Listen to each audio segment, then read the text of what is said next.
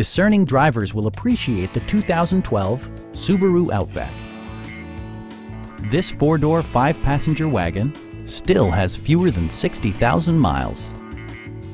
It features a continuously variable transmission, all-wheel drive, and a 2.5-liter four-cylinder engine.